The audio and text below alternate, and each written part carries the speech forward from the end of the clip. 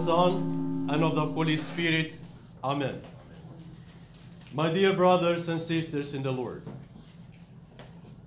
today our church is preparing for, the, for entering into the holy and great Lent. It's the Sunday so called of forgiveness. And when we are trying to make peace to everyone, we're trying, first of all, to ask forgiveness from those that we, either with words or with deeds, did bitter them. And of course, to forgive if others did anything against us. And also, our church today is commemorating the casting out of Adam and Eve from the Garden of Eden, from paradise.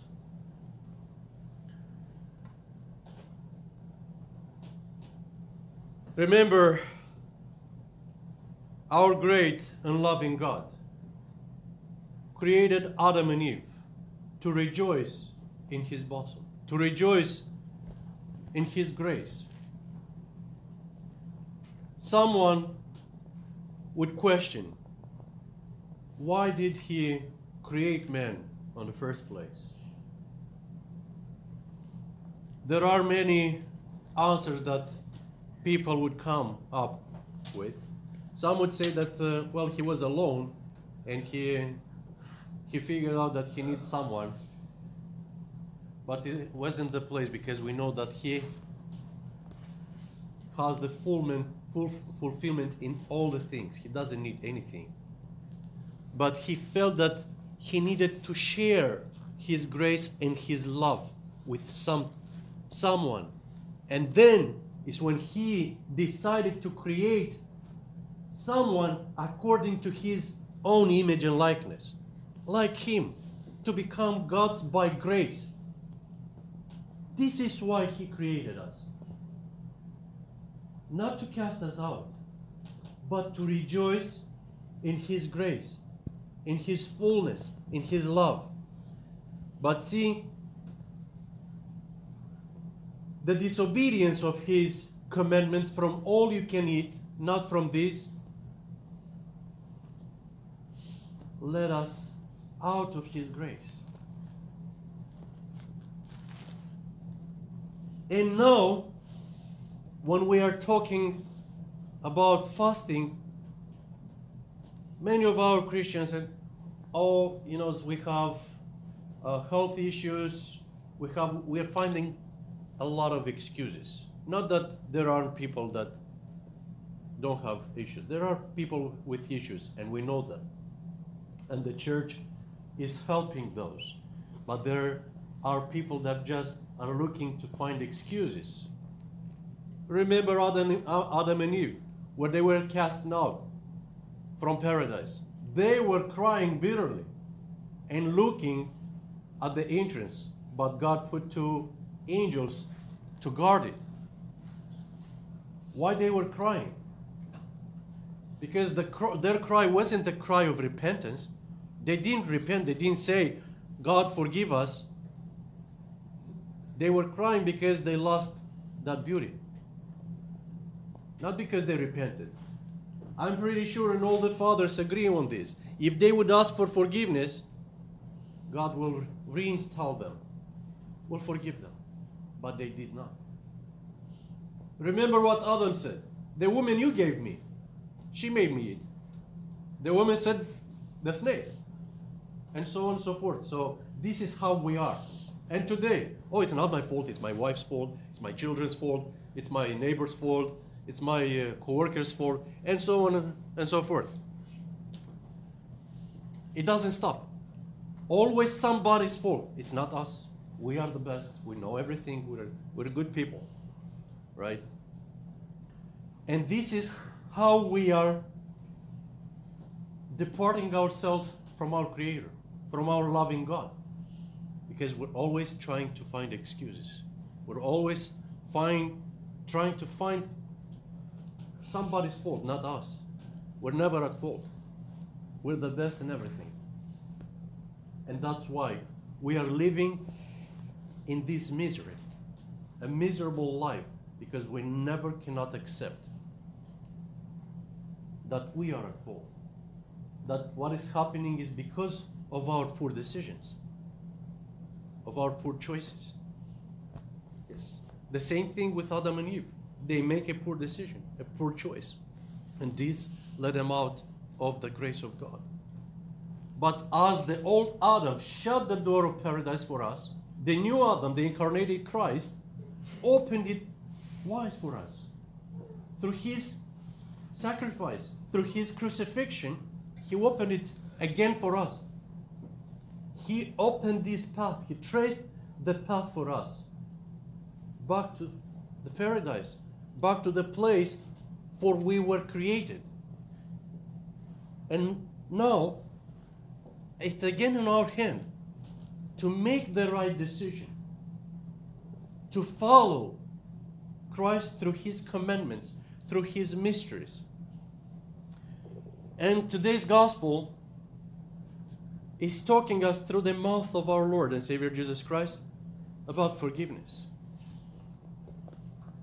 How we are forgiving those who trespass against us. Are we open to that?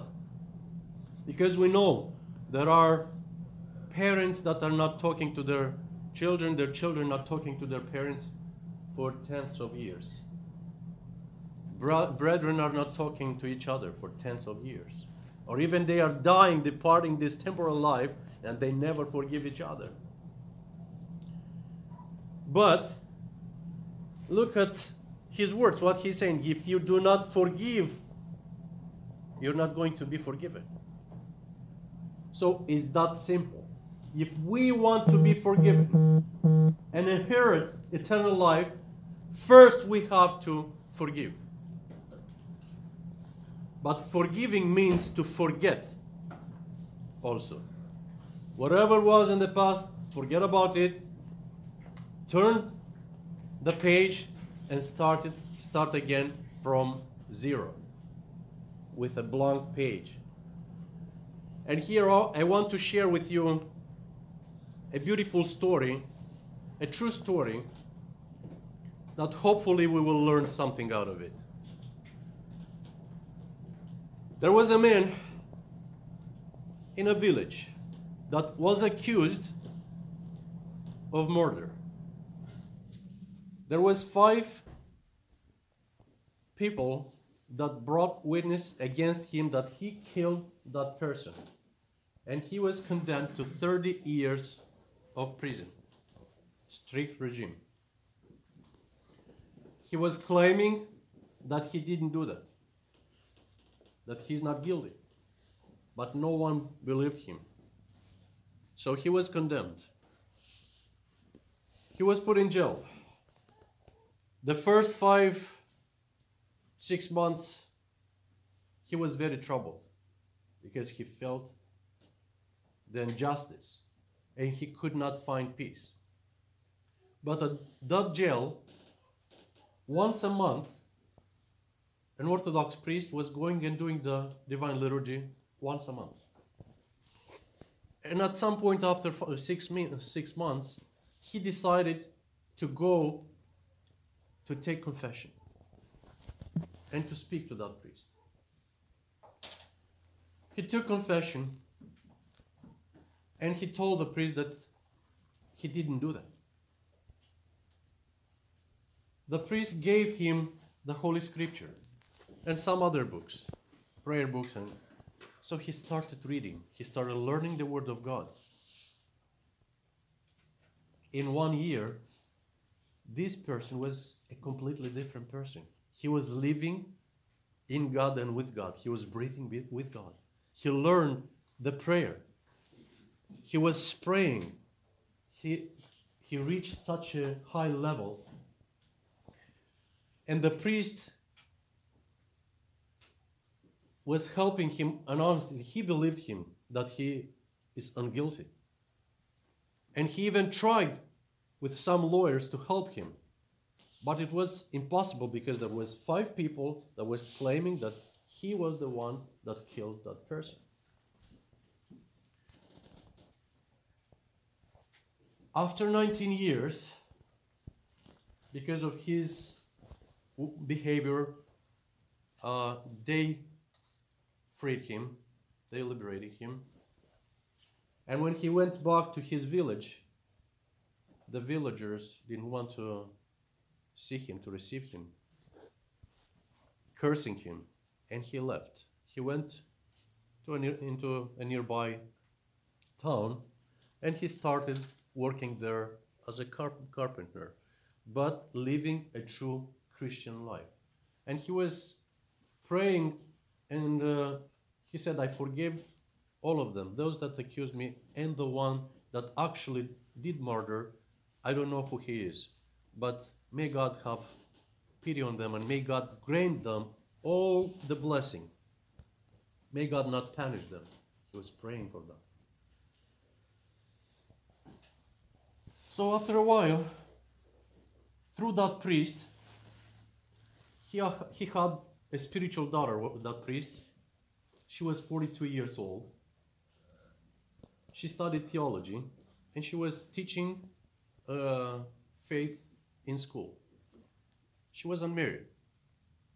And he told her about that prisoner that now was working as a carpenter in that city. And she went, she found him, and she asked him to marry her. Not him, but she asked him to marry her. They got married. They got they had two beautiful kids. Very blessed family, living a true Christian life. After a while,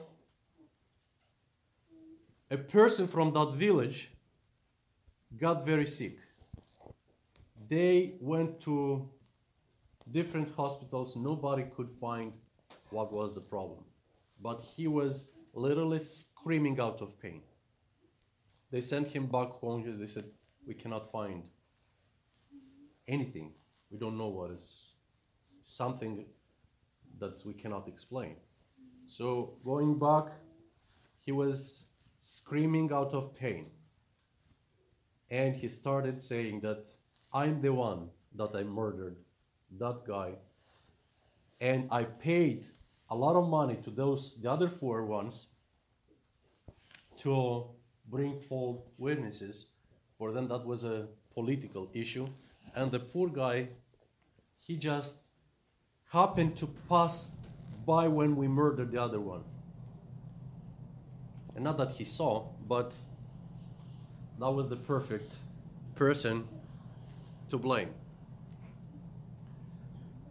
And of course, it got to this man's ears, and he went to the village. The atmosphere was very heavy, imagine. So all the villagers now were cursing that man that was, was crying from the bed.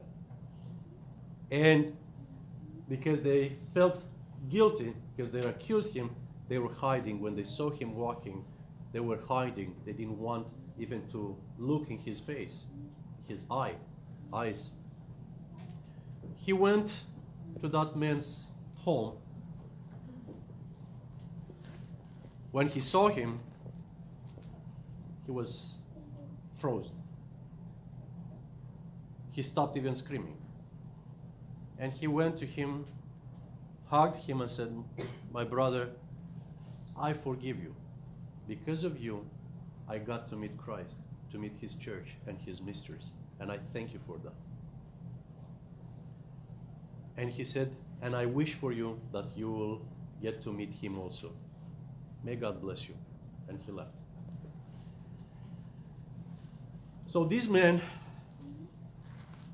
as I said, after he lived, he continued to live this Christian and blessed life. God blessed him with many gifts. He departed this life on the age of 80 in 1999, not too long ago. And that priest that was in prison was ass- assisting when he passed away. And the priest is saying that not only this man at his last breath, but he also, the priest, was seeing angels and archangels that came to take his soul. And the man from the bed said, I am unworthy for this greatness. And with these words, he left. Life eternal. So, only from this you can understand. This was the power of forgiveness, this was the power of love. And now, looking in our days, in our lives, each one of us, take a look. Are we even close to this man? If somebody just says a word, not accusing us of a mur- murder, right? We cannot take it. We'll take revenge. And we'll, either we will start cursing or other stuff, right? Where is our love? How do we forgive? See, this is what the Lord wants from us. He is, He gave us the example when He was spot on His face, beaten up, crucified. What He was doing, Lord, forgive them, they don't know what they are doing. And we think that we know what we're doing? No, we don't. So that's why, my dear ones, we have, before we do anything, before we open our mouth, we have to reflect on everything. And first, to remember His passion, to remember His cross, to remember His sacrifice for us, and our goal, our reason why we are here on earth. Our goal is to become like Him, to reach theosis. That's why we are here. We're not here to judge each other, to hate each other. And this is the moment that we have to start reflecting on this and im- implement His teaching and work on the virtues to improve the virtues which are the gift of His greatness love, patience, obedience, true repentance, and so many others. So let us work on this. Let us become the true image of Christ. Let us become true Christians, true daughters, daughters and sons of Mo- the Most High God. And let us follow Him step by step. And let us open again the doors, the gates of paradise. And let us dwell in there. Let us try to get in there as families, as communities, to rejoice with the Most High God, the Father and the Son and the Holy Spirit. Amen. God bless you all.